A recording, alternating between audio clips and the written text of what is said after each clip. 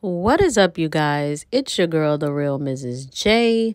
And listen, this whole Chrisean, Jaidyn, and Blueface shit show at this point is just really, I got a damn headache.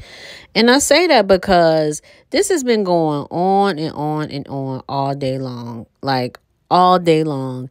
And my whole thing is this Chrisean, you have basically, and I can almost guarantee that you have ruined the whole situation with K Suave. Like you ruined that.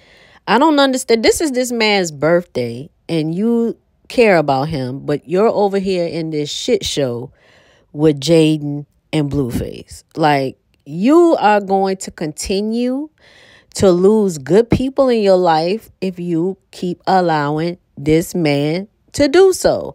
Like Chrisean really needs to take a look and reflect on her life and reflect on the things, the good things that was happening to her.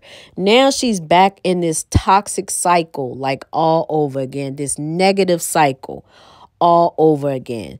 Now, at first, I was here for it, you know, with her and Jaidyn kind of like, you know, establishing a relationship or whatever. But at this point, this is like going too far. Why are you still there? Like, Chrisean, why are you still there? Why are you not somewhere getting your shit together to be with your man for his birthday?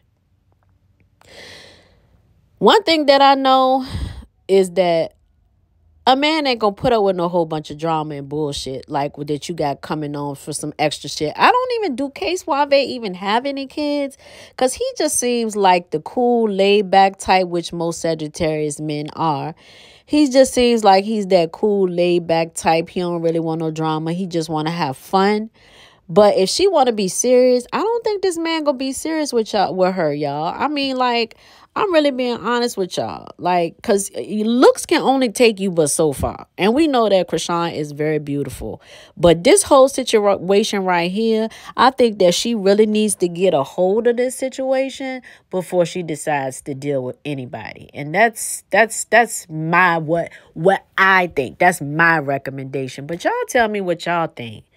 Do y'all think that this is conducive for a decent relationship with somebody else? Or do y'all think that she need to get her shit and this whole situation under control before she decide to deal with anybody?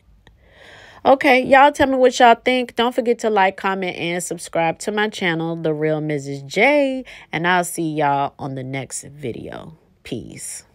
Y'all ain't finna tear my shit up. Unwillingly on the camera. Hey, look. Unwillingly on live. On Why here. Hey, look. Check it out. Look. Why Look. All right. I didn't put you on live, bro. Shut the fuck up. Nobody can see you. God damn. But check this out, though. Nobody can see you, bro. We know. Yeah. Come on. Um, but check this out. Y'all done broke all my shit. Who's y'all? So, y'all owe me some pussy now. I don't know shit. Cricket. And you're on live with no consent. Who going first? With no consent and with consent.